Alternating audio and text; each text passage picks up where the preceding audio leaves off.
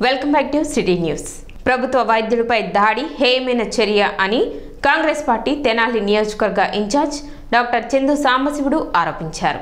సోమవారం ఆయన కార్యాలయంలో ఏర్పాటు చేసిన విలేకరుల సమావేశంలో మాట్లాడారు. విశాఖపట్నంలో ప్రభుత్వ వైద్యుడు దళితుడైన డాక్టర్ సుధాకర్పై దాడిని కాంగ్రెస్ పార్టీ తీవ్రంగా ఖండిస్తున్నట్లు వెల్లడించారు. అదేవిధంగా గుంటూరు విశాఖపట్నం జిల్లాలో ప్రభుత్వ భూములను అమ్మి ఆ సొమ్మును ప్రజా సంక్షేమ పథకాలకు వినియోగిస్తామన్న వైసీపీ ప్రభుత్వ వైఖరిని తప్పుపట్టారు. సమావేశంలో పెనుగొండ శివకుమార్ కె బుల్లయ్య సత్యనారాయణ రమేష్ అండ్ మల్లికార్జునరావు తదితరులు ఉన్నారు.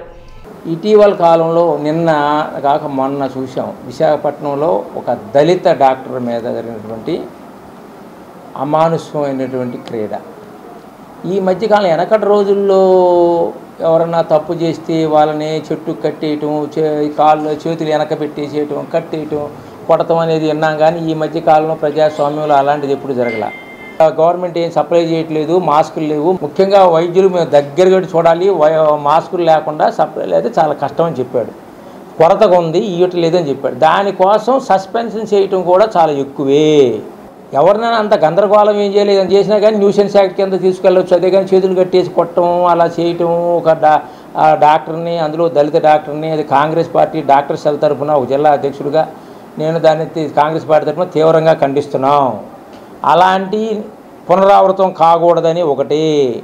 రెండోది దళితుడికి అన్యాయం జరిగిన అన్యాయం జరగకూడదనేది. మూడోది ఆయన తిరిగి రీఇన్స్టేట్ చేసే గవర్నమెంట్ సర్వీస్లో తీసుకుంటే ఆయనకి ఏదైనా చిన్న చిన్న మానసిక మెంటల్ అప్సెట్ ఉండగానే సరిపోతాయి అని చెప్పేసి కాంగ్రెస్ పార్టీ తరఫున దళిత పక్షాన మాట్లాడుతూ చర్య- చర్యలు తీసుకోవాలని డిమాండ్ చేస్తున్నాం ఆ ప్రభుత్వాన్ని. లాక్డౌన్ కారణంగా ఉపాధి కోల్పోయి ఇబ్బంది పడుతున్న పేద ముస్లింలకు doctor Jafar Sadiq Basha Muslim minority welfare trust అందిస్తున్న సేవలు ముదావాహమని టీడీపీ నాయకులు జొన్నాదుల మహేష్ పేర్కొన్నారు. సోమవారం స్థానిక చిన్రావూరులో ట్రస్ట్ ఆధ్వర్యంలో పేదలకు ఆర్థిక సహాయం పంపిణీ చేశారు. కార్యక్రమంలో అక్కిశెట్టి వెంకటేశ్వరరావు దేశు యుగంధర్ పరుచూరి రమ్య షేక్ గౌసియా బేగం షేక్ జిలానీ జాఫర్ సాదిక్ తదితరులు ఉన్నారు. డాక్టర్ జాఫర్ సాదిక్ బాషా ట్రస్ట్ తరపున.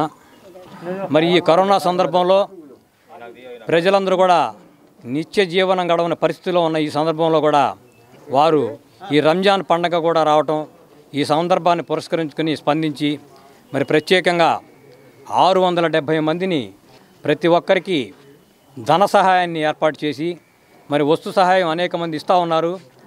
మనం ధన సహాయం చేసినట్లయితే వారికి ఇంట్లో ఏదైతే అవసరం ఉందో ఆ వస్తువులను వారు సమకూర్చుకొని ఈ పండుగని వారు జరుపుకుంటారనే భావంతో ఈ సంవత్సరం ప్రత్యేకంగా ధన సహాయాన్ని ఏర్పాటు చేసి ఇప్పటివరకు కూడా ఈ ట్రస్ట్ ఏర్పాటు చేసిన దగ్గర నుంచి ఈ రోజుకు నాకు తెలిసిన విషయం ఒక కోటి నలభై లక్షల రూపాయలు ఇలా ఈ పేద వర్గాల వారికి ముస్లిమ్స్కి వితరణ జరిపినటువంటి వ్యక్తిగా మనం ఖలీర్ గారిని ఎంతో అభినందించాల్సిన అవసరం.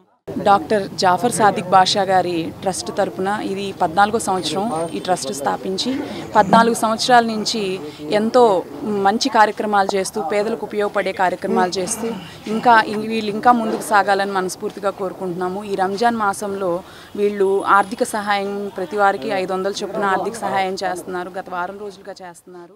అగ్నిబాధిత కుటుంబాలకు అండగా నిలబడిన విఎస్ఆర్ కళాశాల పూర్వ విద్యార్థుల సేవానిరతి అభినందనీయమని వైసీపీ నాయకులు కటారి హరీష్ పేర్కొన్నారు. సోమవారం స్థానిక చిన్రావురు డొంకలోని అగ్నిబాధిత కుటుంబాలకు విఎస్ఆర్ అండ్ ఎన్వీఆర్ కళాశాల పూర్వ విద్యార్థులు వంట సామాగ్రిని పంపిణీ చేశారు. ముఖ్య అతిథిగా వైసీపీ నాయకులు కఠారి హరీష్ పాల్గొని వీటిని అందజేశారు. కష్టాల్లో ఉన్న పేదలను ఆదుకుంటున్న పూర్వ విద్యార్థుల దాతృత్వాన్ని కొనియాడారు. కార్యక్రమంలో ఈ Lakshminarayana B Nirmala KS Dasu Prakash M Vijayalakshmi K Ratnababu AV Prasad Babu CH Prasad Ramesh Rajyalakshmi తదితరులు పాల్గొన్నారు. ఈ నెల ఒకటో తారీఖున అగ్ని ప్రమాదం జరిగింది. ఈ ప్రమాదంలో కట్టుబట్టలతో బయటపడ్డారు మూడు కుటుంబాల వాళ్ళు. నేను పదహారో తారీఖున ఇక్కడ వచ్చి సందర్శించి ఏంటి మీ అవసరాలని అడిగితే వాళ్ళు మొట్టమొదటిగా అడిగింది వంట చేసుకునే సామాన్ అడిగారు. అంటే దాదాపు పదహారు రోజులు అవుతున్నా కూడా వంట చేసుకునే సామాను కూడా కొనుక్కోలేని దుస్థితిలో ఉన్నటువంటి పరిస్థితులు ఇక్కడ ఉన్నాయి. ఈ నేపథ్యంలో ఏవి ప్రసాద్ బాబు గారిని మరి VSR and NVR college Tenali సార్కి బాధ్యులుగా ఉంటే ఆయనకి నేను సంప్రదించాను. ఆయన వాళ్ళ ఫ్రెండ్స్ తోటి పూర్వ విద్యార్థులు విఎస్ఆర్ కాలేజీ పూర్వ విద్యార్థులతో మాట్లాడి వంట సామాను బట్టలు అవి అరేంజ్ చేశారు. ఈ NVR VSR college eighty three eighty six batch వీళ్ళు పూర్వ విద్యార్థులు ఒక టీమ్గా ఏర్పడి సమాజానికి ఏదో సేవ చేయాలని ఒక మంచి ఆలోచనతో వివిధ రంగాల్లో సెటిల్ అయి ఉండారండి చిన్నరావు పన్నెండో వార్డు డొంక రోడ్లో ఈ ప్రమాదం జరిగిందని చెప్పి వారికి తెలియంగానే వాళ్ళు తల కొంత కలెక్ట్ చేసి ఫండ్ని ఇక్కడికి పంపించి ఈ మూడు కుటుంబాలకి ఒక్కొక్క కుటుంబానికి సుమారు ఒక ఐదు వేల రూపాయల పై చిలుకు. అయ్యే ఈ వంట పాత్రలు కానివ్వండి బట్టలు కానివ్వండి ఇవన్నీ మూడు కుటుంబాలు అక్కడి నుంచి వాళ్ళు పంపించి ఇక్కడ ప్రసాద్ మాస్టర్ కానివ్వండి మన లక్ష్మణారాయణ మాస్టర్ కానివ్వండి వీళ్ళ ద్వారా వాళ్ళకి అందాలని ఒక మంచి ఆలోచనతో ఈ చే ఈ విధంగా వాళ్ళు చేసినందుకు ముందుగా వాళ్ళకి మనస్ఫూర్తిగా ధన్యవాదాలు తెలుపుతున్నానండి. ఎందుకంటే సమాజానికి ఎంతో చేయాలి అనే ఆలోచన మంచి ఆలోచన ఇక్కడ గమనించండి. పవిత్ర రంజాన్ మాసంలో బీదలకు ఉన్నంతలో సహాయపడటం వల్ల పుణ్యప్రాప్తి కలుగుతుందని టీడీపీ పట్టణ అధ్యక్షులు మహమ్మద్ కుద్దూస్ పేర్కొన్నారు. టీడీపీ నాయకులు బాబా రహీం ఖాన్ సహకారంతో సోమవారం పేద ముస్లింలకు దుస్తుల పంపిణీ నిర్వహించారు. ముఖ్య అతిథిగా టీడీపీ పట్టణ అధ్యక్షుడు మహమ్మద్ కుద్దూస్ పాల్గొని వీటిని అందజేశారు. ఈ సందర్భంగా దాతల సేవానిరతిని కొనియాడారు. కార్యక్రమంలో అడిసిమల్లి వెంకటేశ్వరరావు నాగూర్ అహ్మద్ గుమ్మడి ప్రసాద్ సలాం తదితరులు పాల్గొన్నారు. ఈరోజు ఐదో వార్డులో తెలుగుదేశం పార్టీ సీనియర్ నాయకులు పెద్దలు బాబా రహీం ఖాన్ గారు ఈ రంజాన్ మాస సందర్భంగా తన సంవత్సరం సంపాదనలో కొంత శాతం జకాత్ కింద పేదల ఎవరైతే ఉన్నారో పండగ చేసుకోవడానికి కూడా ఇబ్బంది పడతాను బట్టలు కొనుక్కోవడానికి ఇబ్బంది పడే నిరుపేదలను గుర్తించి వారికి సంబంధించిన వస్త్రాల దానం చేయటం చాలా సంతోషదాయకం. ఇస్లాంలో ప్రతి ఒక్క మనిషి కూడా తన ఆదాయంలో కొంత భాగం జకాత్ కింద తీసి పేదలకు పంచడం అనేది అనాదిగా వచ్చిన ఆచారం. దాన్ని ఎక్కడ కూడా తూచ తప్పకుండా రహీం ఖాన్ గారు పాటిస్తూ ఈరోజు పేదలకి అండగా నిలబడడానికి ఆయన చేస్తున్నటువంటి ఈ యొక్క ప్రయత్నం అందరూ కూడా సంతోషదాయకం. బాబా రహీం ఖాన్ గారు ఈ నాలుగో వార్డులో ముస్లిం పేదలకు బట్టల కార్యక్రమం చేస్తున్నందుకు చాలా సంతోషంగా ఉంది.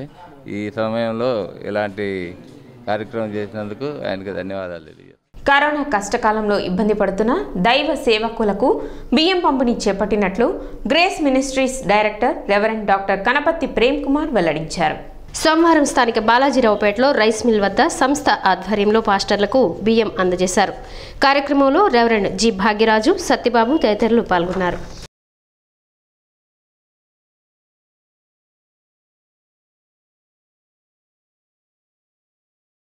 ప్రజలు ఉన్నప్పుడు భయాందోళనకు గురవుతున్నటువంటి ప్రజలు ఉన్నటువంటి పరిస్థితుల్లో మరి ఈ యొక్క మందిరాలు మూతవేయబడి మరి సేవకులు అనేక మంది సేవకులు మన రాష్ట్రము దేశము ప్రపంచమే కాక అనేక ప్రాంతాల్లో కూడా ఈ యొక్క మందిరాలు మూతవేయబడి సేవకులు ఆర్థికంగా చాలా ఇబ్బందులకు గురవుతున్నటువంటి తరుణంలో కొంత ఆలోచన దృక్పథంతో వారికి కూడా కొంత నిస్సాయ స్థితిలో ఉన్నటువంటి వారికి సహాయ సహకారాలు కనీసం రైస్ అయినా కొద్ది దినాలు మనం వారిని సహాయం అందించాలనే ఆశతో ఆలోచనతో ఈ యొక్క గ్రేస్ మినిస్ట్రీస్ ద్వారా ఈరోజు కొద్దిమంది సేవకులకు మరి యొక్క రైస్ డిస్ట్రిబ్యూషన్ పంపిణీ కార్యక్రమం చేపట్టడం జరిగింది.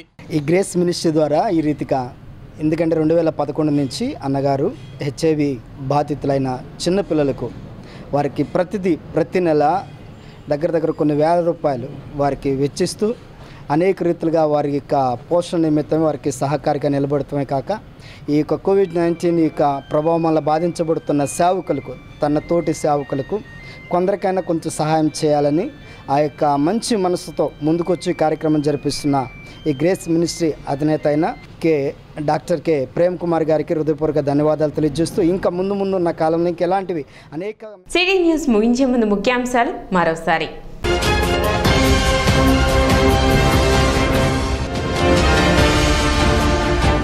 మే ముప్పై ఒకటవ తేదీ వరకు లాక్డౌన్ పొడిగింపు. ప్రజలు ఇళ్ళకే పరిమితం కావాలని ఎమ్మెల్యే అన్నాపతిని శివకుమార్ పిలుపు.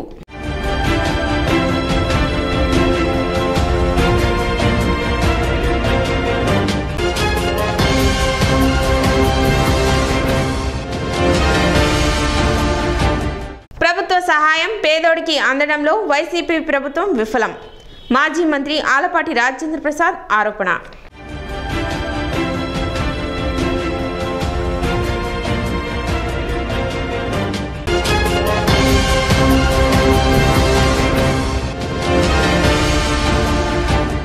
ఈ నెల ముప్పైన సీఎం జగన్మోహన్ రెడ్డి చేతుల మీదుగా వైఎస్ఆర్ రైతు భరోసా కేంద్రాల ప్రారంభం.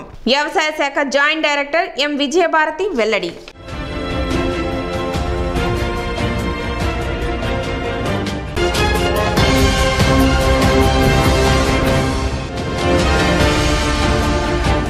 ప్రభుత్వం విధించిన లాక్డౌన్ నిబంధనలు ప్రజలు విధిగా పాటించాలి.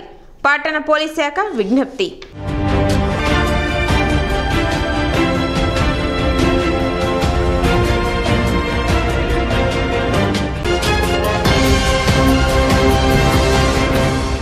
సిటీ న్యూస్ ఇంతటితో సమాప్తం. నమస్కారం.